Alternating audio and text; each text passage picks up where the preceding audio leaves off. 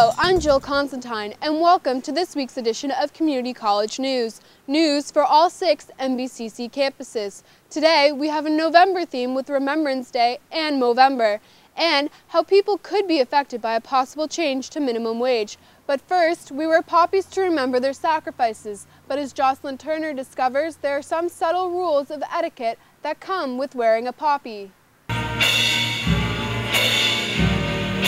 Poppies are over our hats, lapels, and even over our hearts, but there are some specific places we should wear them. I, I don't think it's right to have it on your hat. My, my husband's a vet, so no, they should wear it where they're supposed to wear it.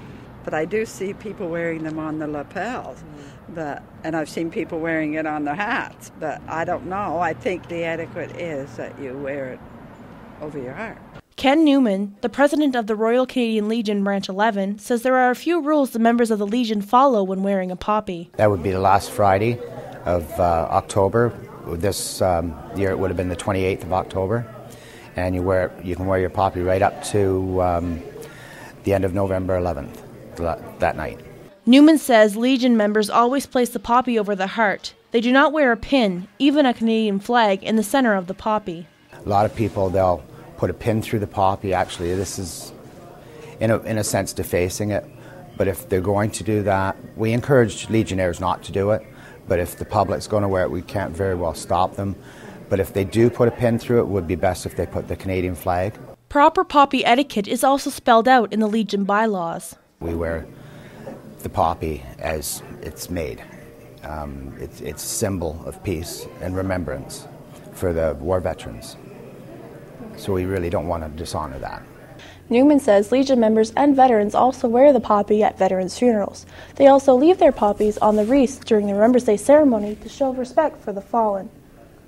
In Woodstock, Jocelyn Turner, Community College News. This Friday, Remembrance Day ceremonies will be held throughout the province.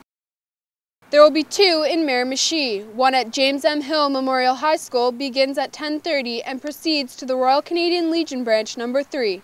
The second begins at the Civic Center at 1040 and continues on to Legion Branch number 10. There will be refreshments and live entertainment. Moncton also has two events. The first begins at 10:15 at the Moncton Coliseum. Reception follows at Legion Branch number 6. The other ceremony forms at 10:30 at Massey Avenue Cenotaph. St. John is holding 3 Remembrance Day ceremonies. People are asked to be at Harbour Station by 10:30. Another gathering begins at 10:15 at St. Rose and Barnhill Schools and proceeds to the Cenotaph on Manawagonish Road. At the Cenotaph on Ludlow Street, the ceremony starts at 10:45. In Fredericton, the ceremony begins at 10:15 at the library and proceeds to the Cenotaph on King Street. The Woodstock Remembrance Day ceremony begins at 10:45 with a procession from the Armory to the Cenotaph on Main Street.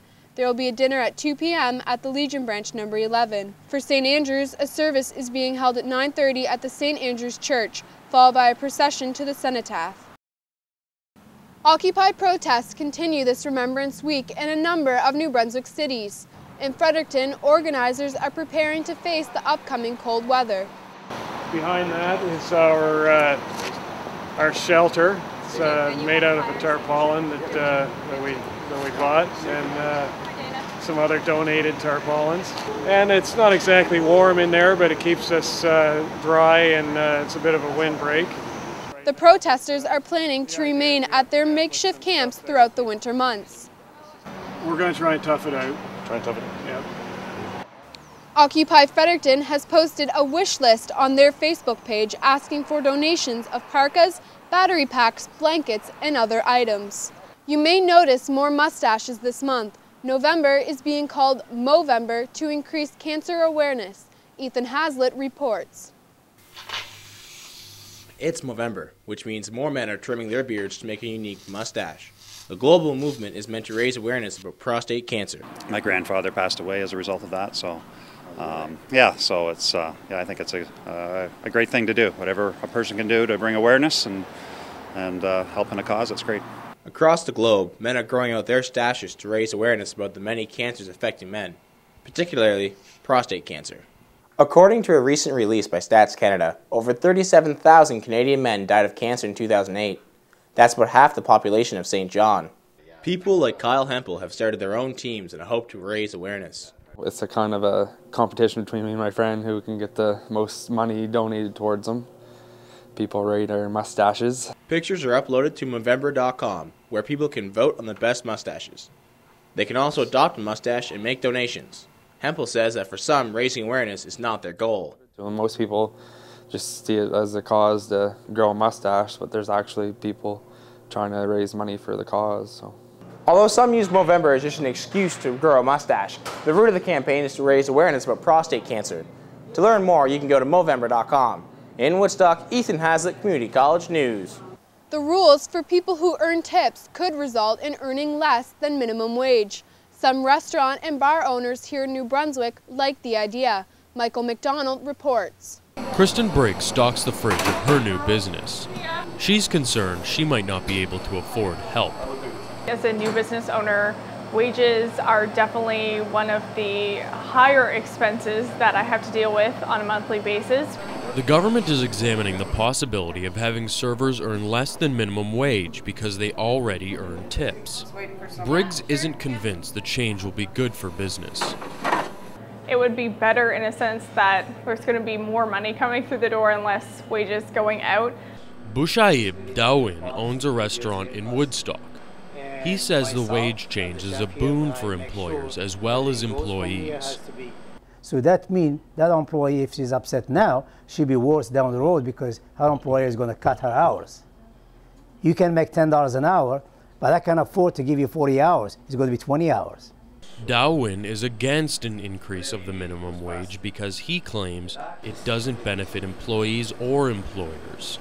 So who's the winner is the government. He's not the employee, he's not the employer. Because more money they make the employee, more cut from their paycheck. To access the government survey on the issue, visit gnb.ca slash consultations. The online poll is open till mid-December. Business owners like Darwin are hopeful the government will make the changes. They'd be following the lead of provinces like Ontario, who've already made the cuts. In Woodstock, Michael McDonald, Community College News. Hundreds of New Brunswickers sampled the taste of Hollywood in the provincial capital during the Silver Wave Film Festival. It was an opportunity to showcase some of the best films produced locally and abroad. Our Martin Poirier was there for the weekend event. If you like movies, you don't need to travel to Hollywood to see who walks on the red carpet or what is behind the silver screen. The Charlotte Street Arts Centre in Fredericton is home to the New Brunswick Film Cooperative. This weekend, it is hosted the 11th annual Silver Wave Film Festival. With everything from short films to documentaries, a slew of directors, producers, actors, and actresses will be attending this year's event. Great. I uh, love all the films. I've been here for the shorts yesterday, and I watched uh, the shorts one and two. I went even for the midnight screening, so a good crowd too. So yeah, it's going pretty great. The festival started with a producer's reception where guests and industry leaders rub shoulders and talk showbiz while enjoying refreshments and food. Film Festival, it's an honor to be here. I'm thrilled to be one of the local filmmakers, really. And I owe so much to the Film Co op and the volunteer members. It's a blessing. This year's event showcased French and English screenings from Canada and the world. Anyone screening the films was given a ballot to vote in the Viewers' Choice Awards. Festival sponsors offered a series of awards and prizes for excellence ranging anywhere from music composition to cinematography. It's pure talent, like shine through and see everybody come together and make a beautiful piece of art. Screenings were also held at the Saint Anne Recreation Center. The auditorium was at full capacity with more than 400 people attending. It's very well done. It's my first time coming out, so it's really good. Pretty awesome. This is actually my first uh, day here. Yep. I didn't come yesterday or anything, and actually, this is my first time uh, being at the film festival. The three day gala closed with a New Brunswick feature at the UNB campus and a party afterwards. Earlier this year, the Department of Wellness, Culture, and Sport canceled the New Brunswick tax credit. There are high hopes in the film community that the credit will once again be given a green light. The tax credit is critical to the independent New Brunswick filmmakers and to the industry. In Fredericton, Martin Poirier, New Brunswick Community College News. That's our show for today. To submit a story idea, email us at jschoolnbcc at gmail.com or to see more of our work, visit jschoolnbcc.ca. Thanks for watching.